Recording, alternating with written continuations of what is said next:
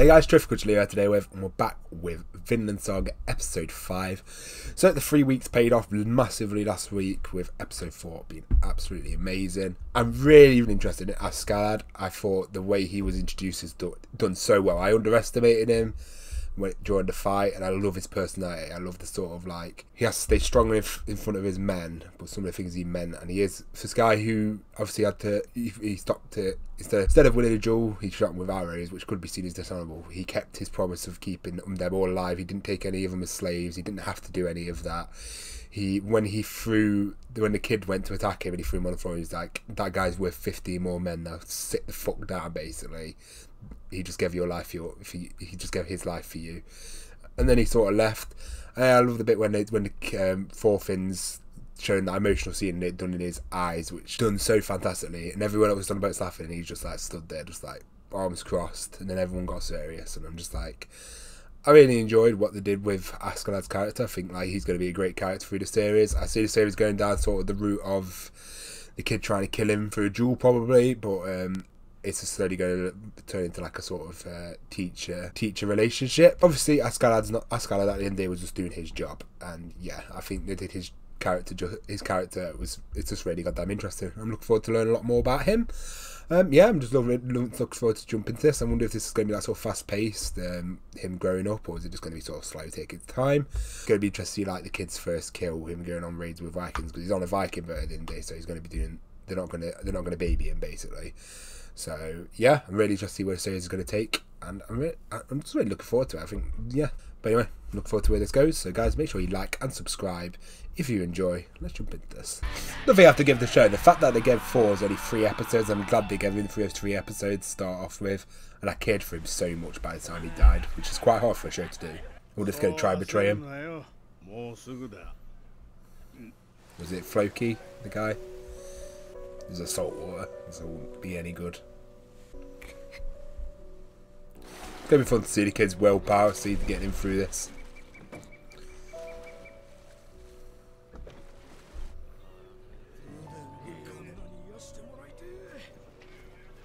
Oh, in England, boy.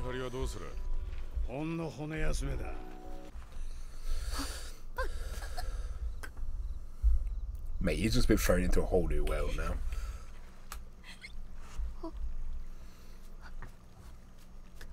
Oh, my boy sensed the water.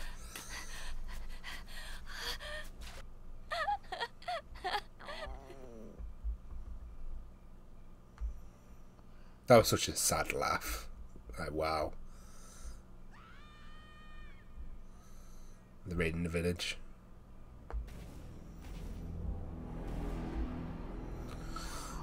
The brutality of the Vikings at the end of the day.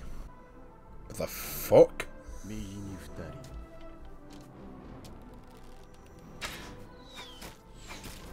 Mate. I love how I showed the brutality of it. I'm glad he's doing that.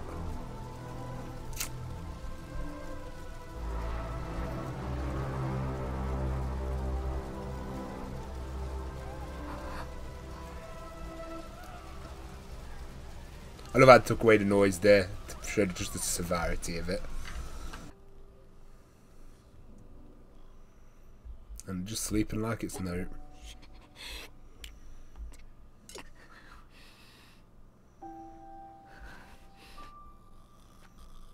None of them noticing this kid.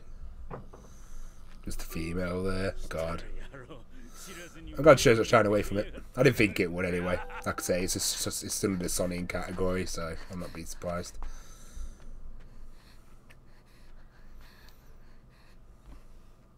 See, you don't have to be showing it, like, the the process of you know, just showing, like, just the legs or something, just like, just leaves it to your mind, which is always, I always find a lot darker. Register he's awake. He's just like me. I really like his character. I can tell him being probably one of my favourites in the show.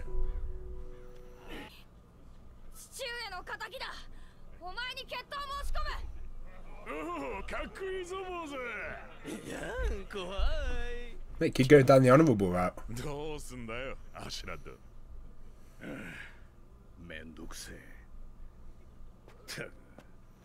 あのまま寝首かいてりゃよかったのによ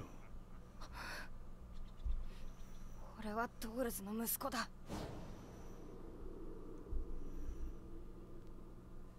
そんな卑怯なこと I love how he's took some of his dad's teaching. Obviously, he's not fully learned it yet, but it's going to take a while. See, this is quite an interesting revenge story because it's, it's not the usual way they're chasing someone down. He's actually with him already.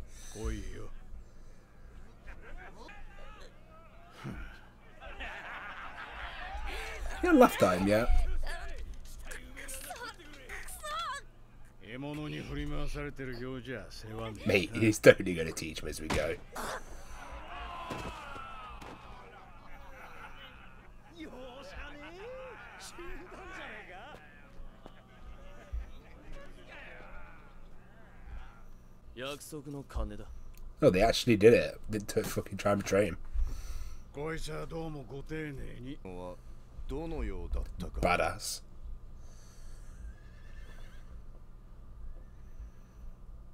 別にただの普通の死に様だ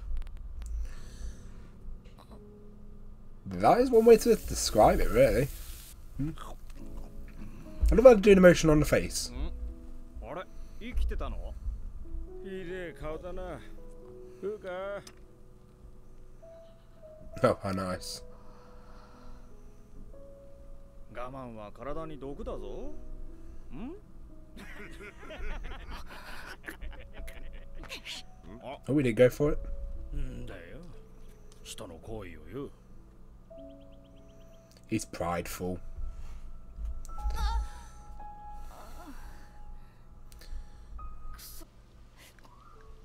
There we go. He sucked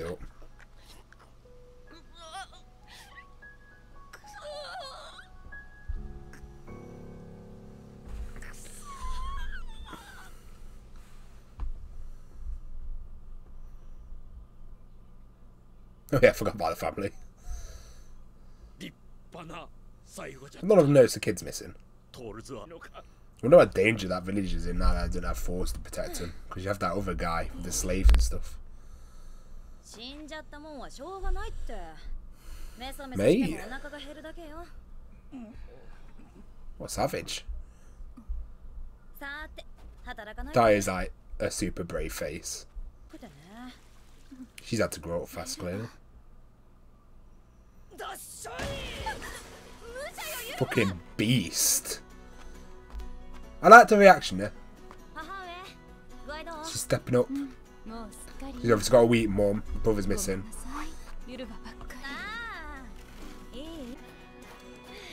See, is she working hard to forget? Or is this what she was always like?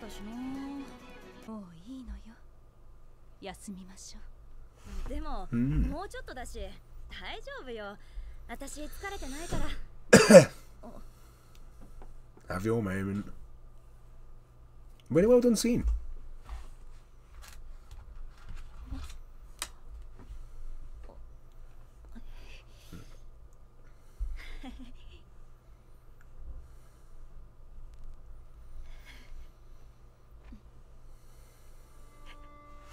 Mate, I get to I just that. That was really well done.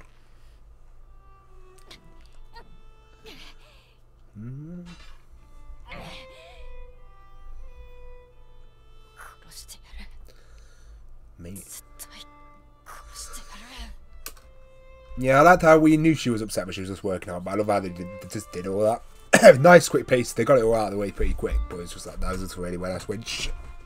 Show someone hiding their emotions or dealing with it.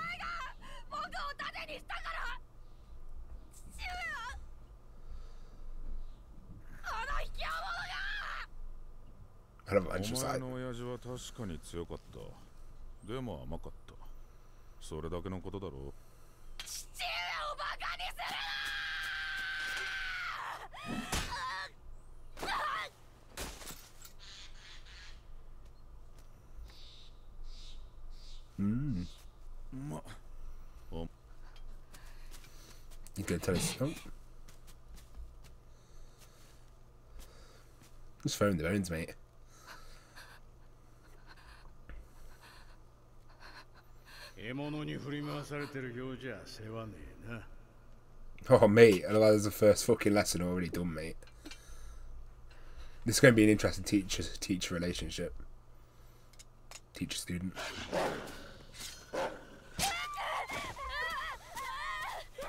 Our first kill. Fucking hell, that was brutal. Didn't look like I did the fucking noise well, mate.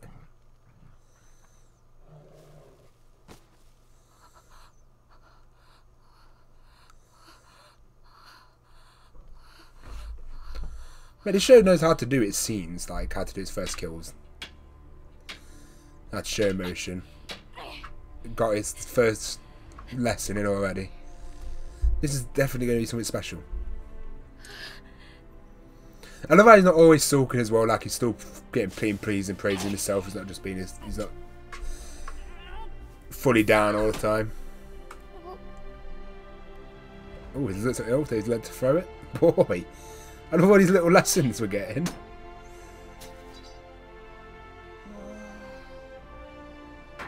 Mate, this is how you do a kid character in anime.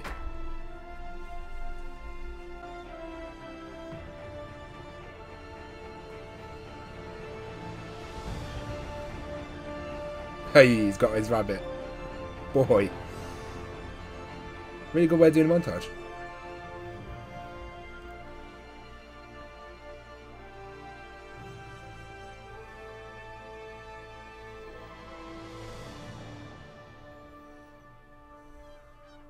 He's got the basics of the survival.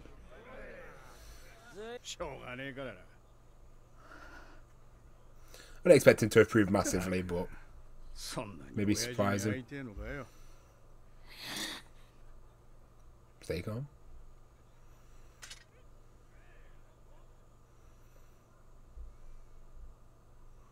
I don't know why his friend noticed he went serious there. I guess he would know the best out of anyone. Big kick. Would he get straight back up? Oh, he's gonna go up this time, isn't he?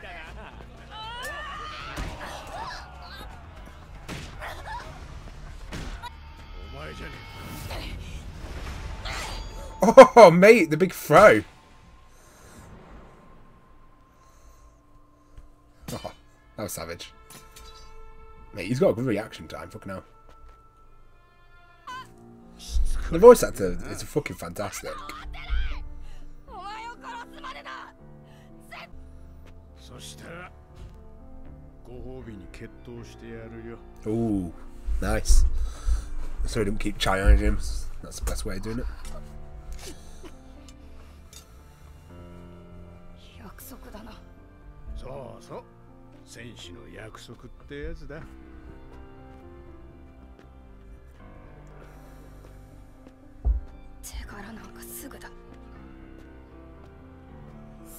Another way friends his friends looking at him.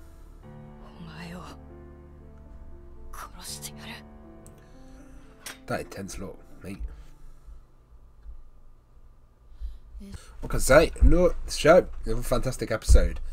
Uh, I love the way that was all done. I think like the little bit of growth we've got with his like obviously the hunting was fantastic done. I really love how they did Helga's scene. I think that was my favourite scene. Um, showing someone do grief. I love how she didn't just outburst or, or cry like I would have expected or like, oh no, for falling. No, she just carried on doing her jobs and then like you know it was hurting inside and she hadn't hit her yet. And she wanted to stay strong. She knows she has to. She's got a ill mother.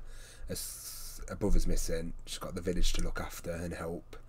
Um, and she displayed quite strong characteristics, but at the end you got the bit of emotion. Really well done scene. I loved how they did the village raid scene.